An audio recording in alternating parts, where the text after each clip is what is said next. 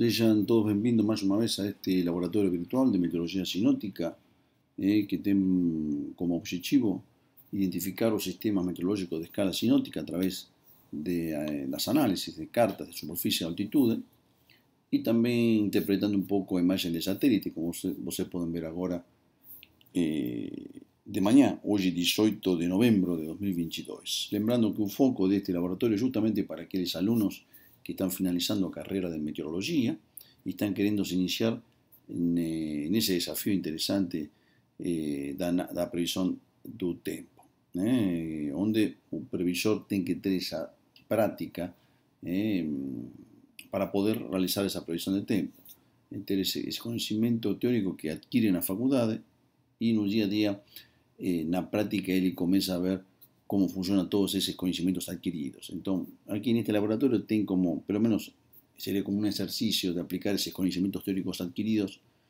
eh, y ver cómo se comporta la atmósfera desde el punto de vista práctico. Eh, estamos empezando, entonces vamos a ver aquí la imagen de satélite. Bueno, como ya falei en otras presentaciones, allí está como con destaque con la zona de comercio Atlántico Sur. ¿Eh? ¿Sí? As Zacas, que já vem atuando há alguns dias, eh, desde terça-feira passada. Hoje já podemos dizer que estamos no, mais ou menos no, no, quarto dia.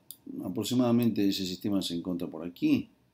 Eh, a zona de, vejam como a, a banda nebulosa se estende desde o Oceano Atlântico Sul eh, em direção ao continente, neste caso a, agora se encontra no nordeste, indo em direção à região norte do do Brasil. Lembrando que esa banda de nebulosidade está asociada, en principio, a un sistema frontal ya enfraquecido sobre o Océano Atlántico Sur e aquí un cavado. Entón non, non teño como eh, que temos unha frente fría. Está errado colocar unha frente fría aquí sin antes analizar a carta de superficie e ver as variables que me permiten diagnosticar ese tipo de sistema. a principio, o que eu posso dizer es que aquí tiene toda una, zona, una banda de nebulosidad asociada a esa zona de convergencia. Y el sistema frontal está más al sur, como a gente va a ver de aquí a poco. Vean que no existe un contraste a nebulosidad, o al frío aquí, como no es polar, es un sistema que no tiene características polares, a nebulosidad que se encuentra atrás prácticamente no, no, no es relevante, no muestra esas células abiertas, como podemos observar, por ejemplo, aquí sobre Océano Pacífico Sur, una clásica frente fría. Entonces, interesante, porque cualquier persona que analiza esta imagen de satélite puede, puede ser elevada a colocar una frente eh, aquí. Y está errado, como estaba, eh, está totalmente errado. Colocar un sistema frontal de esta forma. Está totalmente errado. Inclusive estaba asistiendo ahora poco eh, a previsión que faz eh, UK Met Office, que é o órgão público de meteorologia de Inglaterra, e eles mesmos também falavam de frente fria, porque eles não conhecem o comportamento do tempo na nossa região e se baseiam muito no campo de chuva. Por isso sempre é bom fazer as análises das cartas de superfície. Mas, enfim, este sistema tem provocado muita chuva, né? aqui em todo esse setor, na días anteriores no Espíritu Santo, Minas Gerais, Goiás, centro-norte de Goiás, Tocantins, agora está subindo mais um pouco, eh? mas continua afetando uma, uma boa região aqui eh, nordeste e parte da região norte. Vejam que interessante como também podemos observar aqui algum núcleo convectivo isolado da convergência, atrás da convergência, sobre Goiás e sul Tocantins, me está dizendo de alguma forma que aqui estamos com con un, con un cavado, ¿no? de alguna forma aquí en la troposfera media, podríamos decir, troposfera alta, ar frío aquí, que de alguna forma instabiliza esa región y deja un tiempo más eh, instável con pancadas de chuvas. Y aparte, la banda de nebulosidad se encuentra a, a, a direita, ¿no? donde tenemos a, a influencia de los ventos. ¿eh? De ese cavado, como a gente va a ver de aquí a poco el análisis de las cartas de altitud.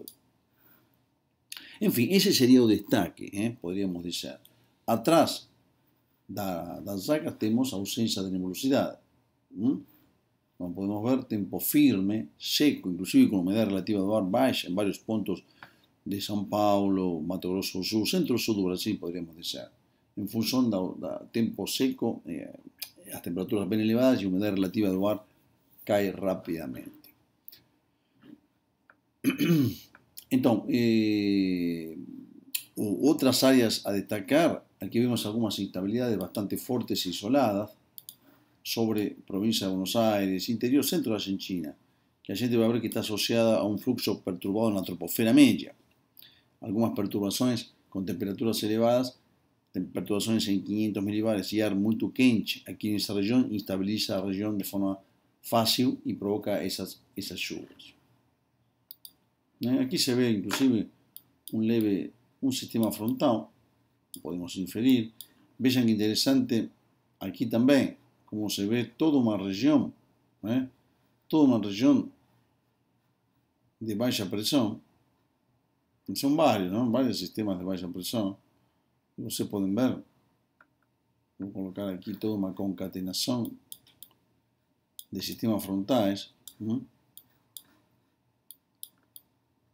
En síntesis, vamos a hacer una síntesis ¿eh? de cómo se comporta aquí esa región. Vean aquí toda una región baroclínica, el frío aquí, bien clásico de esas latitudes y de esa época dual. En relación a la zona de convergencia intertropical, ella se mantiene más o menos entre 9 y 10 grados norte, tanto en el Atlántico cuanto en el Pacífico. ¿eh? Más o menos sector, aquí también. Vean que no, tiene una parte que no está muy activa, más cuando la gente analiza las cartas, vean aquí de análisis de modelos para poder facilitar ese diagnóstico, en este caso modelo global GFS, la cero de hoy, que vemos un máximo agua precipitado entre, entre 9 y 10 grados norte, ¿está viendo? Aquí con la confluencia de los alicios, y aquí también. Aquí este no, no da para marcar. Aquí no marca, infelizmente. Vamos ver si consigo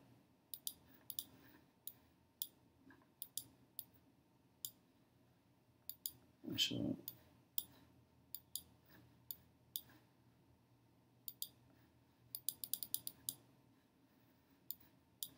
Bom, mas está por aí, pessoal. Né? Aqui se bem que está bem simples de identificar. E aproveitamos para ver aqui essa forte convergência que tinha zero de ontem, em 850, aqui nesse setor, onde tivemos acumulados bastante fortes, bastante significativos de chuva. Aquí tenemos otras variables, ¿eh? humedad relativa en la camada 700-850 acima del 70%, con un escobamiento en 925. Vean que está más o menos donde yo coloqué aquí la imagen del satélite. Entonces ese sería el destaque, empezó, no se ve otra cosa así relevante. Voy a mostrar ahora aquí un canal visible, solo para ver un poco más Lembrando que en este horario no tenemos ainda mucha convección profunda. ¿eh? Aquí vemos de nuevo las células fechadas sobre el Océano Pacífico en función de la estabilidad provocada por el anticiclón subtropical del Océano Pacífico.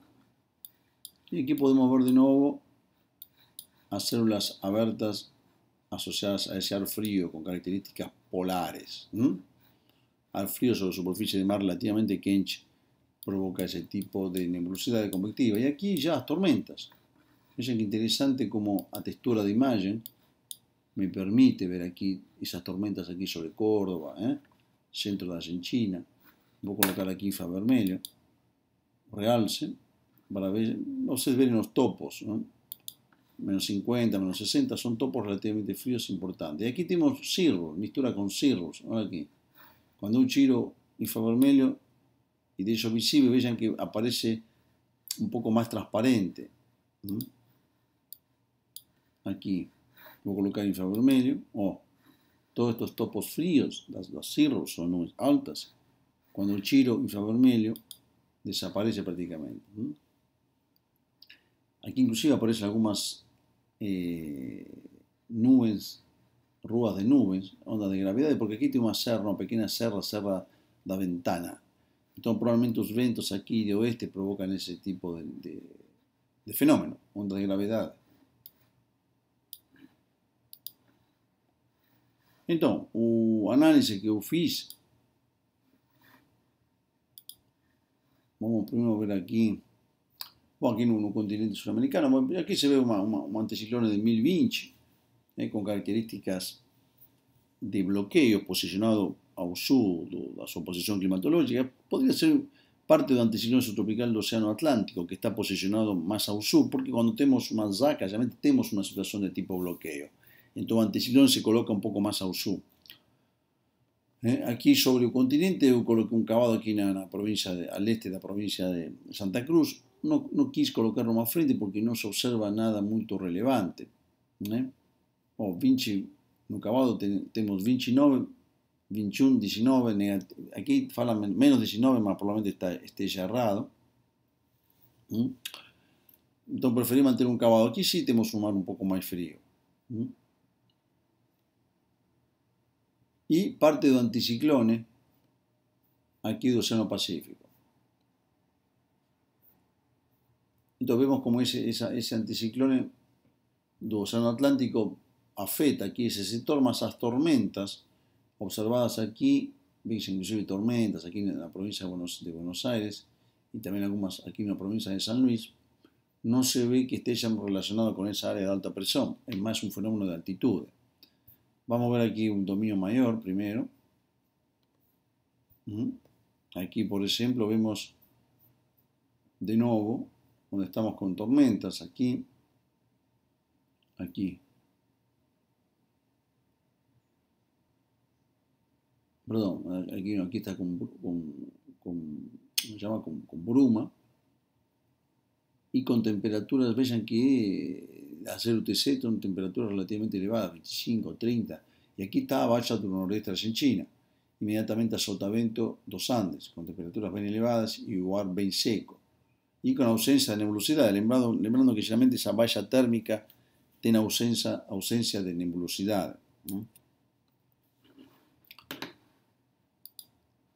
aquí la valla del noroeste argentino generalmente se asocia como un fenómeno térmico eh, provocado pelo aquecimento diurno o pela subsidencia dos ventos intensos de oeste, como a gente va a ver ahora, que provoca subsidencia y aquece.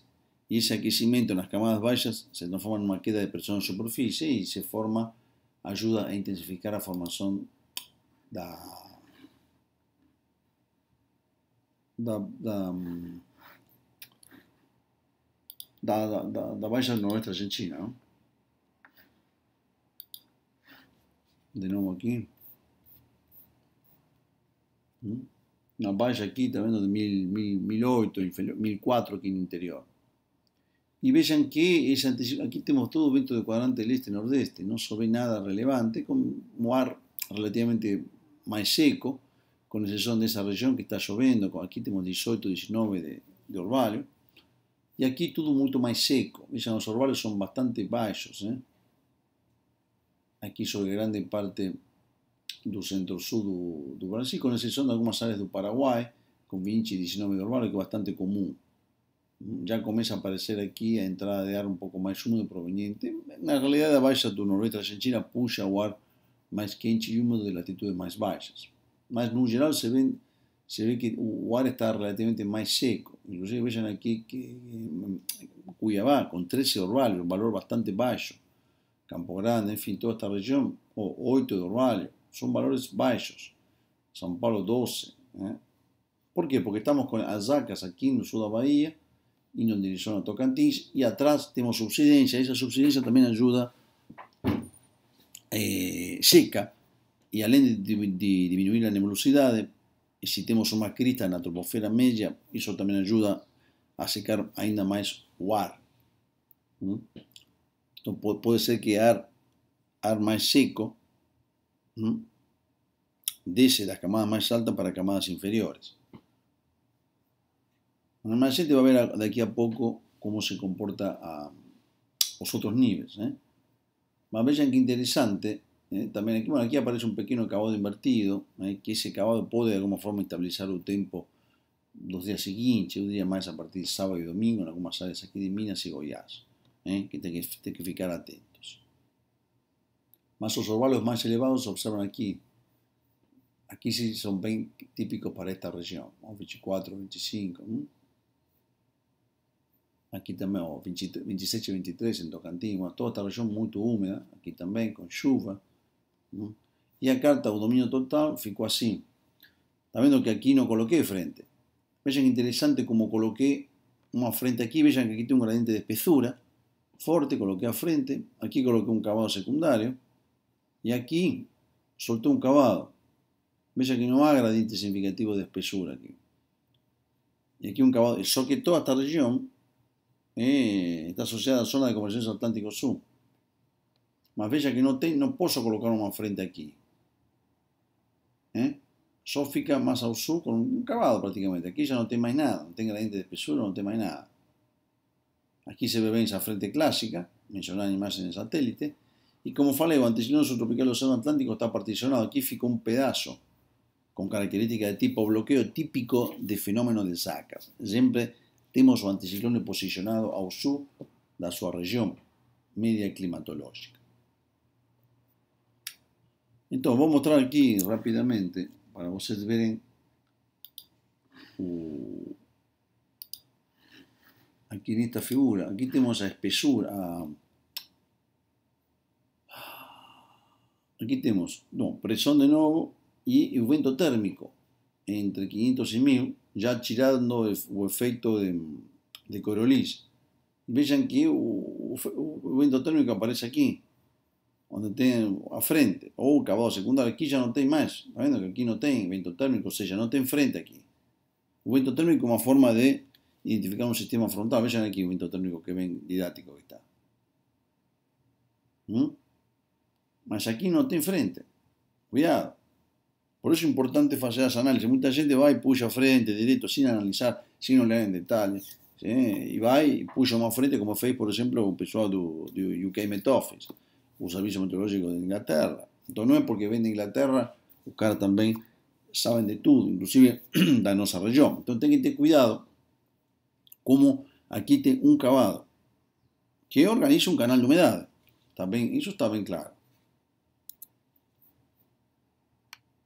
Aquí podemos ver también los otros niveles. Vean interesante, 850. ¿Eh? aquí se ve de alguna forma a convergencia, vean la convergencia, ya comienza a perder un poco de configuración, porque ven que aquí tiene la convergencia que viene del Océano Atlántico, parte de aquí, inclusive aquí aparece un poco de circulación ciclónica, que justamente aquí es lo que provocó esas, esas instabilidades durante madrugada de hoy en Goiás. En fin, aquí el lugar polar está bien restrito a latitudes más altas, una amplia área anticiclónica. Aquí y aquí aparece un, pequeño sinal de un jato de bajos niveles eh, provocado por la borda occidental do, do anticiclone este que está aquí. Vemos que aquí los orvalos son bien bajos, 0 en 850 aquí en Portalegre, 5 en Asunción, 0 10 en San Paulo, 12 en el Horizonte, y aquí ya comienza a ficar más típico, más normal, 15, 15, ¿no viendo? Cuando vamos a 700,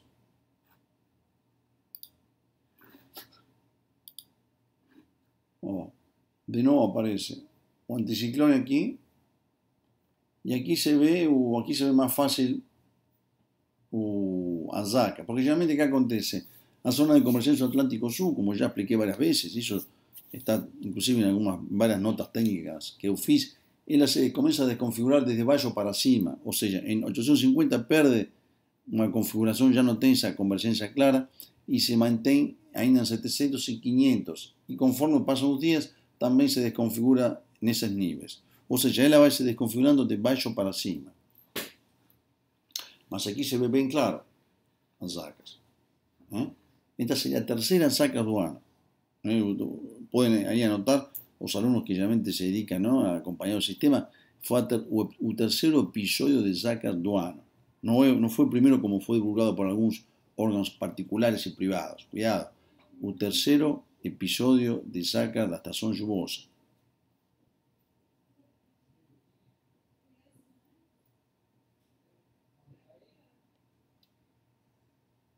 Vamos a ver aquí 500 milibares.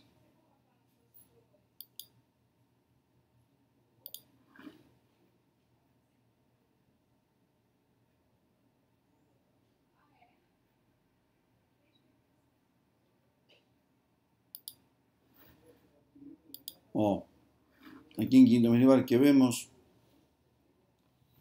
un anticiclón bastante fuerte aquí, con características dinámicas. Por eso no, veo que esté asociado a, a Alta Bolivia, o anticiclón que a gente va a ver ahora en, 250, porque refleje muy fuerte en 500. Un cavado, ¿eh? con un cavado secundario aquí embutido, y aquí se ve ese cavado mencionado, vean como ese cavado penetra aquí sobre el interior del continente. ¿Mm? son valores de temperatura normales, más está bien seco, ¿eh? todo seco en ese nivel. Realmente humedades fica más restrictas que más bajas. ¿eh? Entonces ya fica humedad eh, o orvalio muy bajo en 500 milibares eh, en grande parte de la región. A no ser que tengamos un sistema relevante que se, que se más frente fría, por ejemplo, en altitudes medias, ahí sí que se propaga para latitudes altitudes más altas.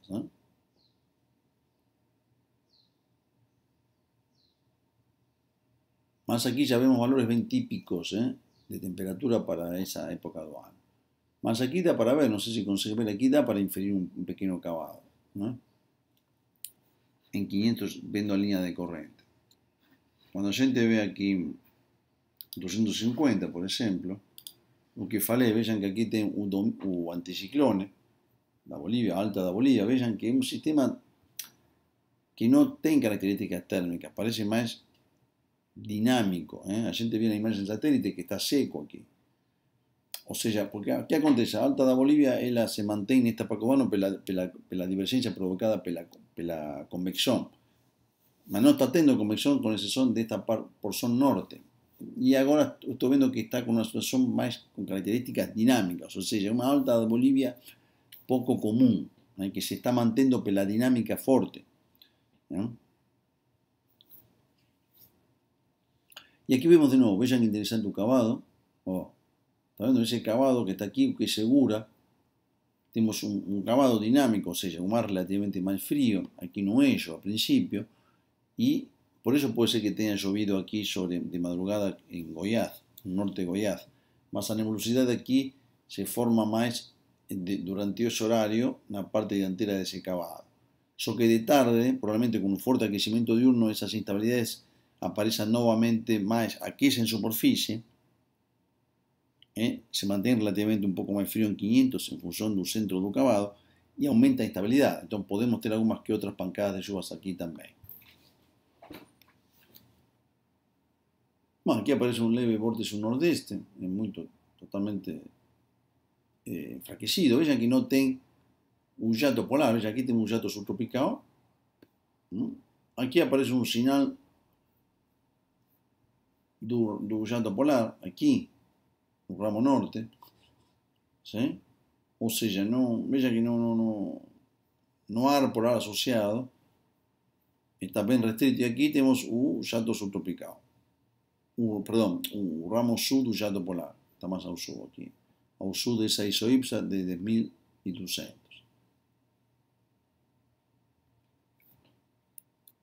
Vamos ver aqui o de nuevo 500 milibares, para ver un poco más en detalle, aquí 500 eh, milibares, altura ya potencial, línea amarela, verde, humedad relativa encima del 80% en 500 y en cian aparece, está apareciendo omega negativo en 500. Aquí ven ven cómo se ve bien posicionada, cómo se, se determina bien el posicionamiento de las vacas. Entonces, para posicionar el saca, vean que sale de aquí. Y aquí aparecen esas ondas curtas embebidas. Vean que aquí tiene un flujo de oeste bastante importante que provoca, primero provoca, intensifica a baixa del noroeste argentino en función de la subsidencia provocada por los oestes y los Andes, y después aparecen algunas ondas curtas embebidas aquí, eh, que interactúan con una masa de más quente y provoca esas instabilidades. A alta muy fuerte aquí, ¿eh? en 500. A ver si consigo colocar aquí o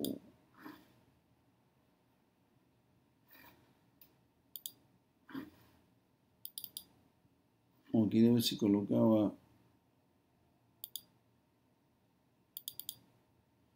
ah, aquí, perdón, no, esto sería divergencia en, en, en 250, verde amarelo y ucabado, vean como aquí esta parte con fuerte divergencia, y aquí eso, esa divergencia de altitud ayuda, de influencia que la divergencia, ayuda a intensificar la convergencia en varios niveles y toda la velocidad de convectiva se concentra aquí. So que a tarde noche puede ser que o aquecimiento, como aquí tengo un mar relativamente más frío, no bello ducavado por ser un sistema dinámico, o aquecimiento diurno va a estabilizar la camada atmosférica a lo largo de la tarde. ¿Mm?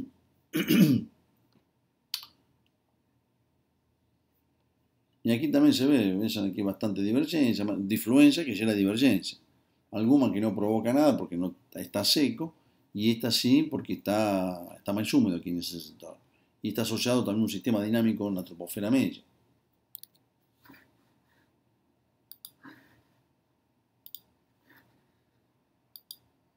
Vamos a ver un poco a ausencia de estabilidad a 0 UTC.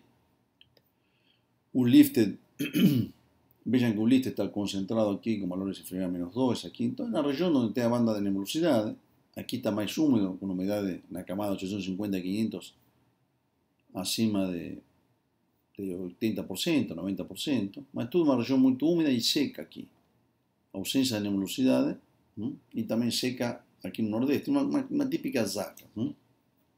Y vean que aquí está muy instável, menos 2 y húmedo relativamente húmedo, mas muy instável. Por eso estaba teniendo esas tormentas en el sector. O WinSK también encima de 35.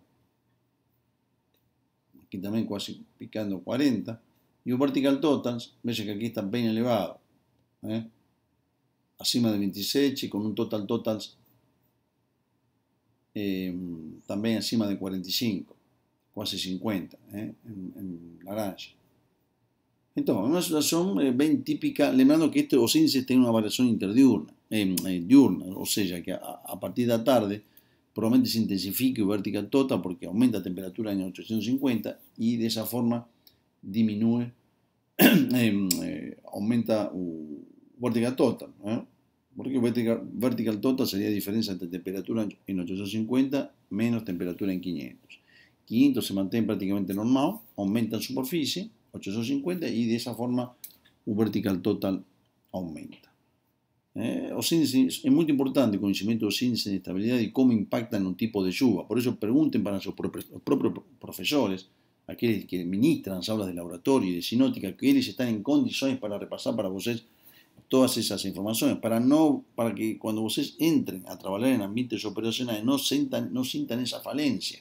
Entonces no pueden entrar a trabajar en previsión del tiempo sin conocer un comportamiento de los índices conjuntamente con la dinámica atmosférica. Entonces pregunten para el profesor, no tengan miedo, pueden preguntar para mí también, mandar un email para mí, fiquen a voluntad. Yo, yo consigo pasar algunas informaciones y explicar cómo funciona el día a día. ¿Está bom, pessoal? O CAPE da cero, precisamente no es tan elevado, vean que está elevado aquí entre eh, Goiás, oeste de, Minas y Tocantins, una región bastante eh, instable. Y aquí también ya el norte de Goiás ya estaba con algunas instabilidades.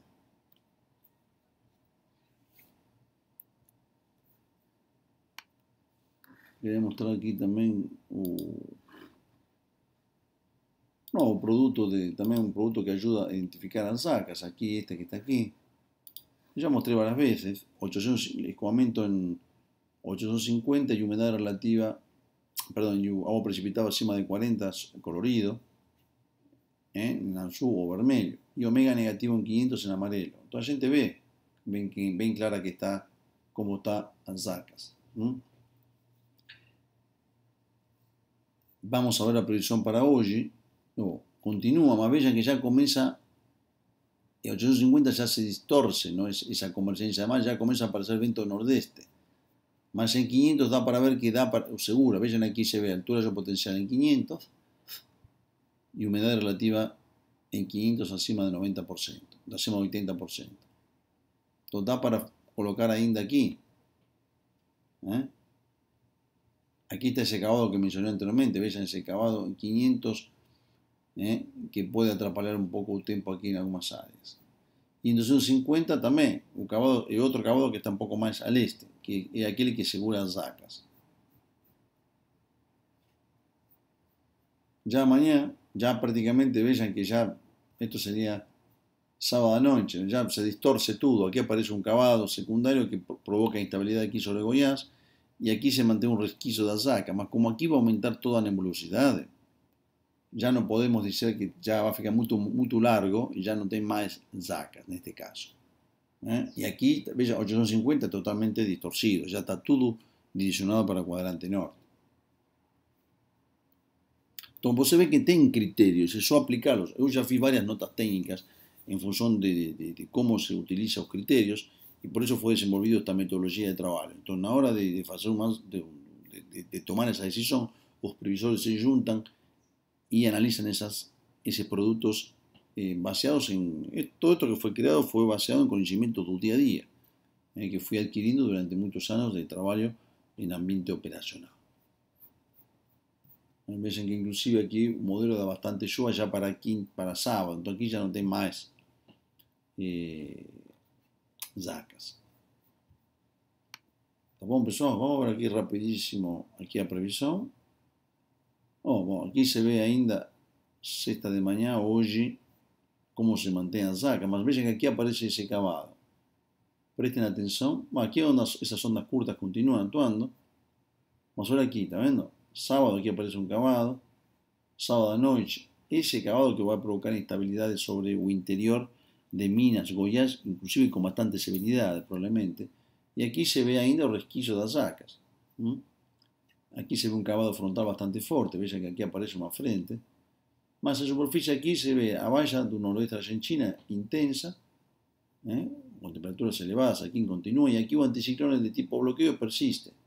Sus aquí ya comienzan a virar más de cuadrante nordeste. no. En 850. 220, eh, eh, aquí 250, o escoamento, se ve ese cavado, eh, que se va a instabilizar un tiempo. Vean que aquí el índice CAPE está bastante elevado y el agua precipitable también. Entonces ya sábado a noche. Y domingo a noche, domingo de mañana, domingo a noche también. ¿eh? Todo muy instável. Aquí se ve el sistema frontal en Argentina. No. Vamos a ver aquí. Oh, a frente fica parada aquí. Aquí veis que tem o, sinal da frente aquí aparece ese otro cavado. Ese otro cavado. Y aquí toda esa región con un cavado barotrópico que va a provocar todas esas instabilidades en el interior del continente. Más presten atención en este que está aquí.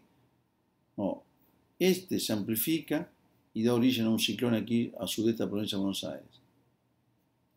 Y este va a continuar avanzando, ahora aquí, tercera noche, ¿eh? y va a pasar por aquí, por São Paulo, cuarta-feira, entre tercera noche y cuarta-feira. Y aquí, esa frente Veja que no va, no pasa, va, va por sudeste, no, no, no. Pasa, acredito que va a afectar sur, mas no afecta otras áreas del Brasil. ¿Mm? Aquí va a ficar todo bagunzado, ¿Mm? con, con, con, con, bastante instabilidad sobre interior del sudeste y parte del centro-oeste. Bueno, inclusive aquí da bastante lluvia modelo. Bom, pessoal? Por enquanto só isso, lembrando que o foco deste laboratório é o diagnóstico. ¿eh? Eh, y no a previsión. Previsión la gente ve, aprende, interpreta dos modelos, es mucho más fácil. ¿no? Eh, no que sea más fácil, sino que es más accesible. Y el diagnóstico ainda, yo veo que existen muchas falencias en los órganos, eh, tanto particulares cuanto públicos, a la hora de el diagnóstico. Entonces, por eso intento aquí pasar algunas herramientas de cómo diagnosticar los sistemas meteorológicos de escala sinótica principalmente. Un abrazo para todos. Chao, chao.